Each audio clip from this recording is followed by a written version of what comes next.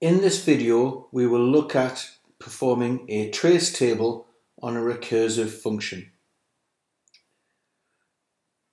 So we have a column for call, which will record the number of times the function is called. It will record the state of the parameter and the code within the function and the function's return value. We are going to take an assumed input of 5. So our starting point is the main function. So it jumps to this line here where we are taking an input, which is an integer, and we're storing it in a variable called num. We are calling the factorial function and sending it the variable num.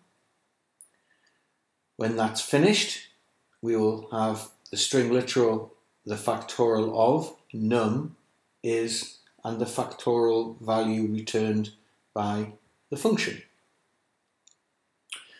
So let's run this program now with the data using 5.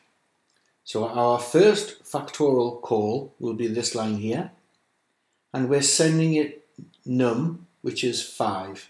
So call number 1 num will be 5. We are now going to look at this code within the function. So num, the parameter, is set to 5.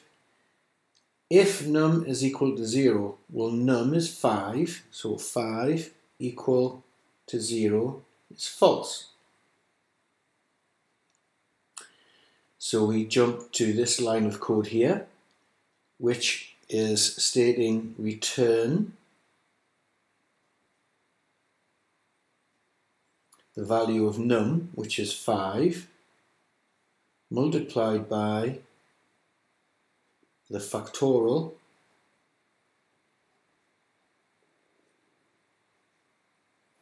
of num minus 1, which will be 4. So we are now in the second call of the function, and num has the value of 4. 4 equal to 0 is false. We will return, so we've jumped to this line here, return num, which is 4, multiplied by the factorial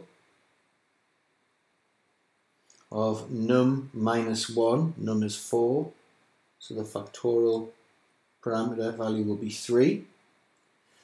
So this is our second call. So we're now into our third call to the function.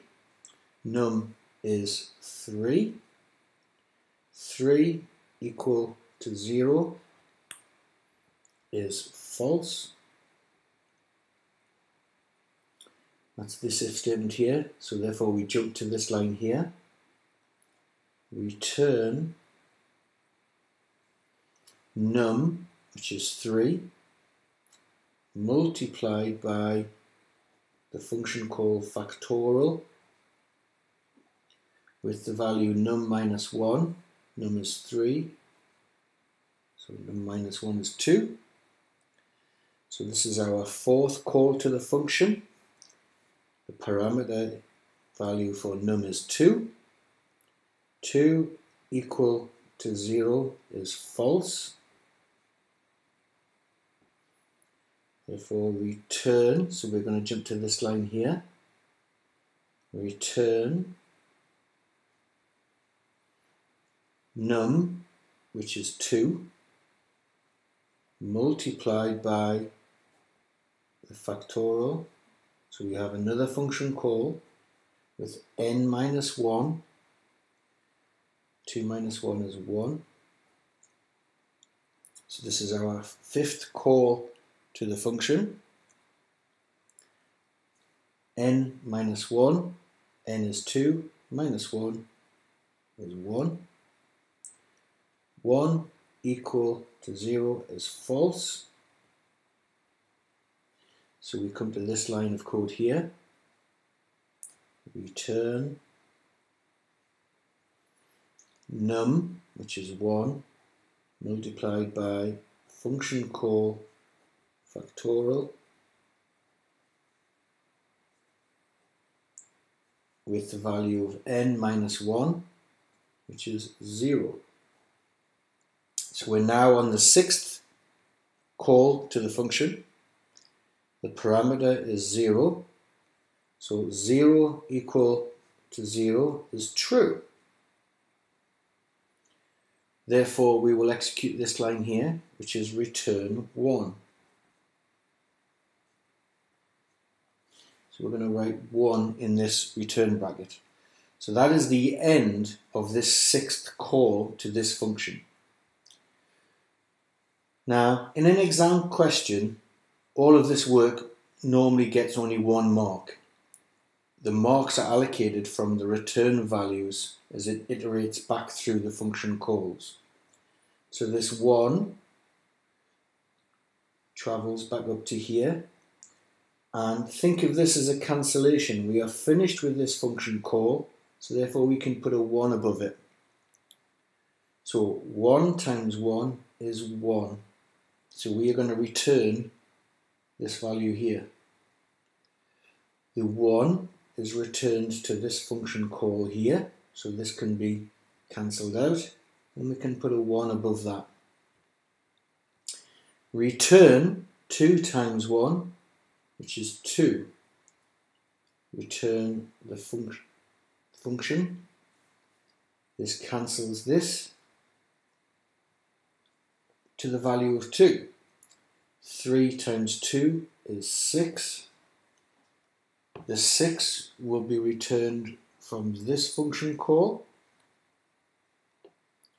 Therefore that cancels that.